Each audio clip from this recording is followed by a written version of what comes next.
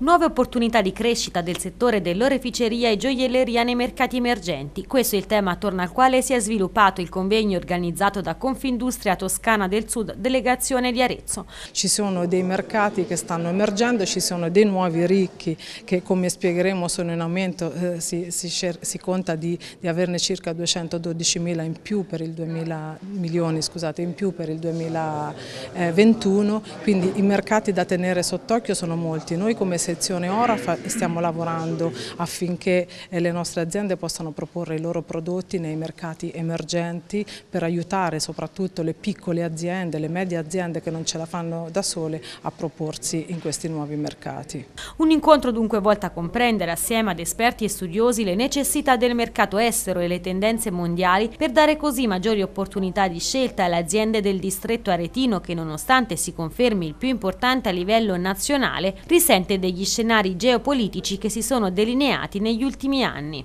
Consapevoli che viviamo momenti di grande incertezza e per la prima volta dopo 15 anni purtroppo il commercio mondiale è in frenata, di conseguenza c'è un impatto anche negativo per il nostro settore. Però il nostro settore, io nonostante questo vedo il bicchiere mezzo pieno perché il nostro settore ha grande potenzialità di crescita perché nel mondo ci sono nuovi ricchi che hanno bisogno dei nostri prodotti, prodotti che non è più sufficiente che siano belli, ben fatti, ma devono trasmettere emozioni.